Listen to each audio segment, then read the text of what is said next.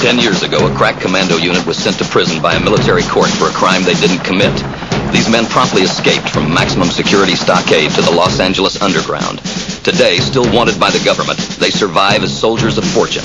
If you have a problem, if no one else can help, and if you can find them, maybe you can hire the A-Team.